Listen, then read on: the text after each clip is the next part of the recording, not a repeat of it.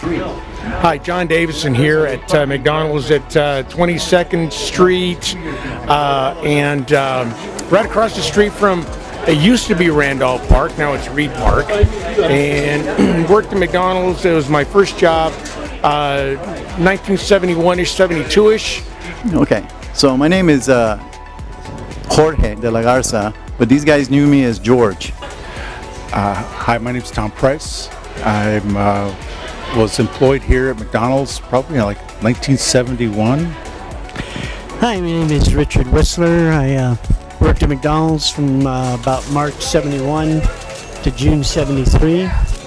Hi, my name's Arnold Stockham. I started working at McDonald's in 1971. I worked here for about a year, a year and a half, and then quit because I wanted to play football my senior year in high school. Hi, my name is Robert Guerrero, and I worked here in 1971, 72, around that time as the first job I ever had. In fact, I had to get a, a work permit because I wasn't 16 yet. My name is Ben Morales. I started working at McDonald's in like uh, 1971, and I worked in like uh, 72, maybe even 73. Hello, my name is Dan Ortega, and I'd like to thank the Academy on behalf of uh, everybody here.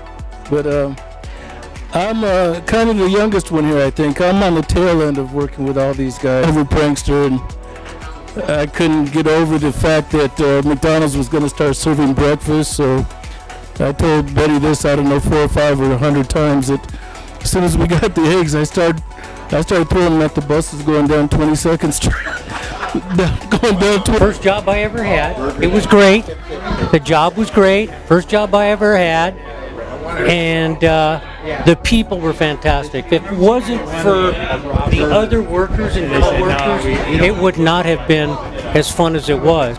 Um, just a lot of fun, and as George uh, Jorge de la Garza said, you know, the pranks. I mean, it was always something. There was always a prank that we were doing. So, um, but that's what made it fun. I mean, I gained a lot from this employment, and, and I think you've heard from my colleagues here that we played hard, but to be honest with you, we also worked hard. It was it was uh, it was a good learning experience from that. I mentioned that there was a good camaraderie that was, that we were able to build up. Um, we're here on our 50th reunion, and it shows that we've made some uh, lifelong uh, companions and friendships throughout the years. Met my first wife. Spent a lot of time with these guys. Good experience, very good experience, and it was a it was a first uh, first job for me, a road job, and uh, um, uh, you know I, I learned uh, to have pride in myself and pride in what I was doing, and and also the camaraderie. A lot of good friends uh, that I that I did here. Uh, you can see some of them here, and it was it was a great time uh, working at uh, McDonald's. Yeah. Yeah.